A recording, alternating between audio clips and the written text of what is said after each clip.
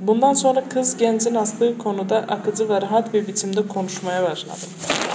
Kitab oxuyun, kitab. Kitab çox önəmli. Arada bir kitab oxuyun yəni. Kitab oxusanız insanları daha yaxşı anlayacaqsınız. Kitab oxumaq yalnız universitetə daxil olmaq üçün deyil, hər hansı bir imtahanda başarılı olmaq üçün deyil, düzgün ə, ünsiyyət qura bilmək üçündür, insanların duyğu və düşüncələrini anlaya bilmək üçündür kiçik problemləri böyütmədən həll eləyə bilməkdir. Düzgün qərar vermək üçün kitab oxumaq lazımdır. İnsanın dünya görüşünün formalaşması üçün, hadisələrə daha ciddi münasibət bildirə bilmək üçün bu kitab oxumaq. Kitab oxumaq sevginin mahiyyətini anlamaq üçündür. Hörmətin mahiyyətini anlamaq üçündür. Düzgün ünsiyyət qura bilmək üçündür. Düzgün qərar verə bilmək üçündür. Milliyyətindən, cinsindən, irqindən, dini inancından, siyasi baxışından asılı olmayaraq insanlara ə, hörmət qoymaq üçün kitab oxumaq lazımdır.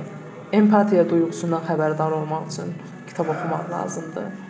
Bu şəkildə, yəni ə, kitab insanların həyatının, yaşamının bir hissəsinə çevrilməlidir. Yəni gündəlik vərdiş olmalıdır kitab oxumaq.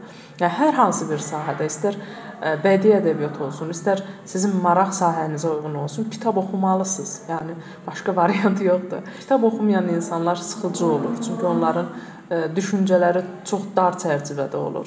Söhbət eləyə bilmirsən, sıxılırsan.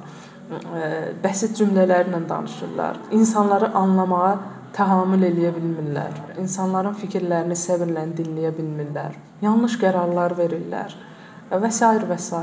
Kitab bizim bütün həyatımız boyu bizi müşayiət etməlidir. Bütün həyatımız boyu, gənclikdən ömrümüzün sonuna qədər kitab oxumalıyıq. Yəni mən demirəm bütün gün saatlarla kitab oxuyun. Hər kəs öz vaxt imkanına görə kitab oxusun. Bir neçə saat da ola bilər. Hətta deyəlim ki, gündəlik yarım saat da ola bilər, 20 dəqiqə də ola bilər. Hər hansı bir sevdiyiniz mövzuda kitab oxuyun.